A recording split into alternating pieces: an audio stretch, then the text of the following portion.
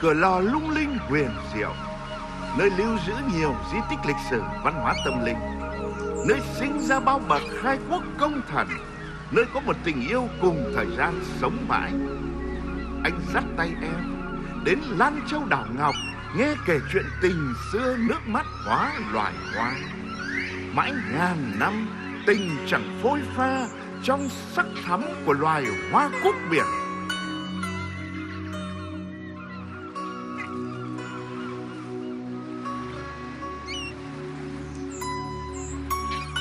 Từ bỏ chốn thiên đình lộng lẫy nguy nga, người con gái ngọc hoàng xuống hạ giới, làm cư dân của biển.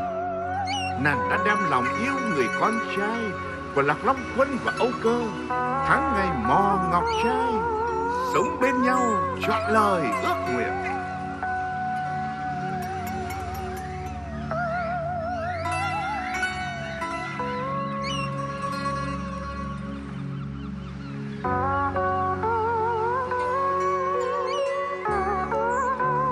Lan Châu, thanh điểm hẹn biển cửa lò, xe duyên, nàng từ tiên, hóa thành gái thuyền quyên chàng đã tặng nàng chuỗi ngọc trai đẹp nhất, câu ví giảm thay cho lời đính ước ngân lên giữa đảo ngọc lan châu.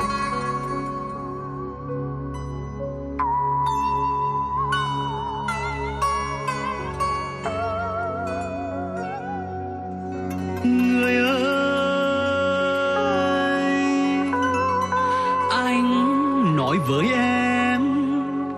sơn cung thủy tận. Em nói với anh, nguyệt khuyết sao băng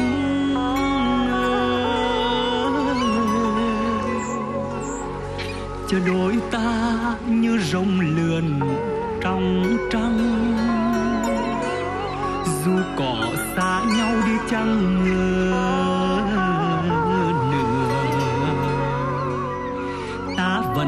nguyệt khăng khăng đợi chờ. Nhưng lời thề hẹn đoạn mối nửa chừng khi họ đã sinh trưởng những đứa con. Và cuộc sống bình yên hạnh phúc vì thương nhớ con mà ngọc hoàng sai khiến lôi xuống triệu hồi nàng về trời. Nàng đã gạt nước mắt, diệt hồn lan châu khắc khoản, câu ví nghẹn là, nhớ chồng thương con, nàng chỉ biết khóc.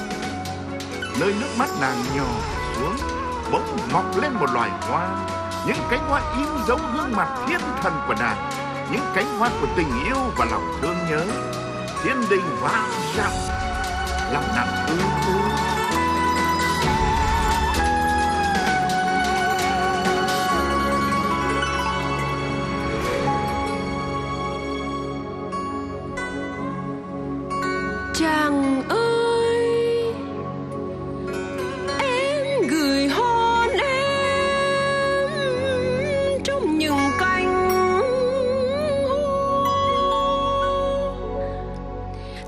giọt nước mắt rơi Về miền yên à, Nhớ chàng thương con Bao tháng ngày khắc khoải Gửi về Lan Châu trong câu ví nghẹn nơi.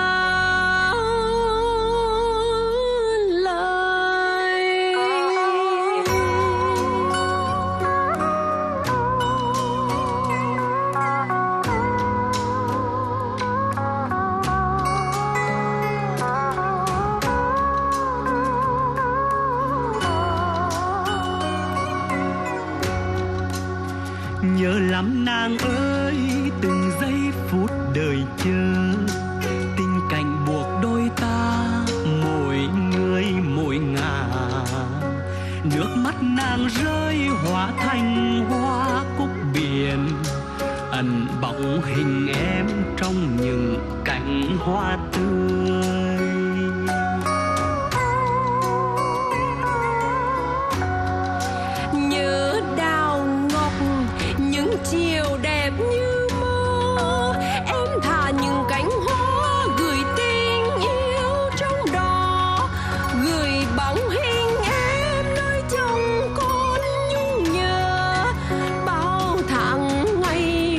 hoài chờ mong hoa cúc biển lung linh đẹp như một giấc mơ.